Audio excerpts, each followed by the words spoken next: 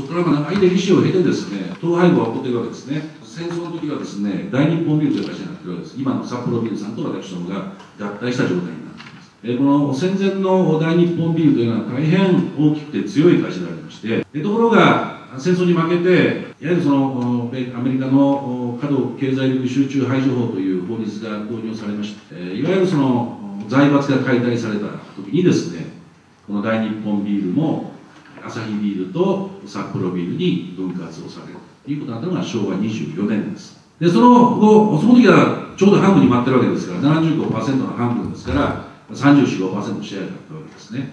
昭和29年、1年だけですけども、アサヒがトップシェアでした。しかしそれが昭和60年にはですね、10%割ってしまう。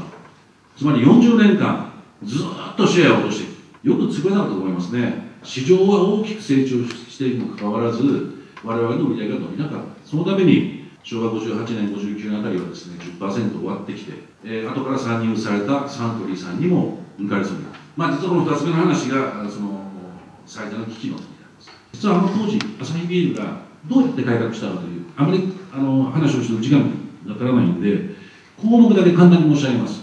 10個の取り組みをしました。一つはですね、まず、どうやって売るかではなくて、どうやって買っていただくかということに基本的な認識を変えようと。役員会やったって必ずやられるのは、一体営業は何やってんだと。お前たちが予算通りやらねえから、金だけ使って、だから利益が減るんだ。一体一日何軒酒屋さん回ってんだ夜は一体何軒飲み屋さん回ってんだこういう議論になるわけですね。どうやって売るかという議論を進めていくと。しかし、もし、市場のお客様方が、いや、実は朝日の味はもう古い。あるいは、いや、実はキリンの方がうまい。キリンさん、昭和51年63.8%のシェアがありましたからね。売れてるってことは、お客様がうまいから買われてる。こう考えざるを得ないですよね。ところが、昔は、いや、俺たちが分かってるのはメーカーだ。お客がイメージやムードで売ってんだ。コマーシャルの量で判断してんだ。こんなこと言った時代があったわけですが、全然そうじゃない。お客様は味で評価してる。だから、昔はうまかったかもしれないけど、今うまくないから売れない。こう考えるべきだから、どうやって買っていただくかに頭を切り替えよう。これが一つ。目はですね、思い込みをやめて、事実確認をしましょうという話です。先ほど申し上げたように、オイルショックまでの高度成長期、いろんな大衆嗜好品というのは作れば売れました。市場に掘り込めばですね、新しい提案ですから、経済も伸びてる、給料もバンバン増えてる。皆さんどんどん買って。ところが、やっぱりあの、オイルショックを経てですね、分かる。僕たちも物はいっぱいになったよね。もういらないよ別に。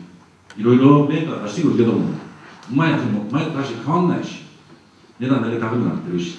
ところが、思い込みが強いですね。前の時代のやり方がまだ頭に残ってますから、こうやったら売れるはずだとか、この味ならお客さんが喜ぶはずだとか、このはずが全部出ちゃうんね。